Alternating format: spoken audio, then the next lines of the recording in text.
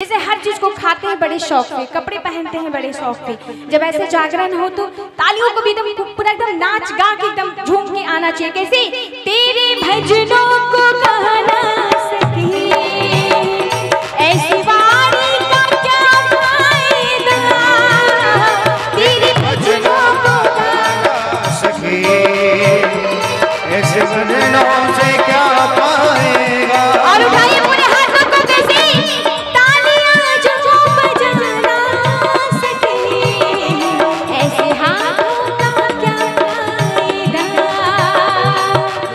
देखिए, ताली बजाने के हिसाब से हमारी माताएँ बहनें के हाथ तो बहुत ज़्यादा उठ रहे हैं। कैमरामैन फोकस करिए, हमारी माताएँ बहनें उधर है। थोड़ा सा एक लाइन उधर दीजिएगा तो देखिए कितने प्यार से उठाइए पूरे हाथों को तो एक बार। उठाइए पूरे हाथों को। बाप रे, हम तो देख ही नहीं पा रहे। थोड़ा सा फोकस करिए तो। लाइट उनकी तरफ़ जलाइए। इतने सारे हाथ बताइए। और इतने सारे हाथों को आधे तो हाथ में मुझे आशीर्वाद के लिए उठे हुए एक बार जोरदार ताली अपने लिए बजाइएगा। क्या बात है। और इधर से जरा बस इतने लोग हैं। आप लोग नहीं उठा रहे आप लोग को भजन नहीं पसंद है। पसंद है? उठाइए। और मेरे साथ जयकारे लगाइएगा।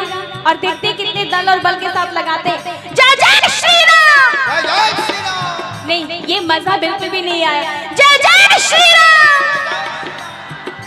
पूरा ये क्या नाम है? है ना? बिथान। है ना ये पूरा विधान और डिस्ट्रिक्ट समस्तीपुर हिलना चाहिए। एक बार भैया पहले जयकारे लगाने दीजिए और दोनों हाथ को उठा के, जय जय श्री राम क्या बात है, ऐसा लग रहा है कि हम लोग लंगापति रावण के एकदम पूरा वहाँ युद्ध पे चले गए हैं, पूरा बानर सेना बन के। हमेशा हम लोग को बानर की तरह रहना चाहिए, ठीक है? एक बार फिर से जयकारे लगाइएगा।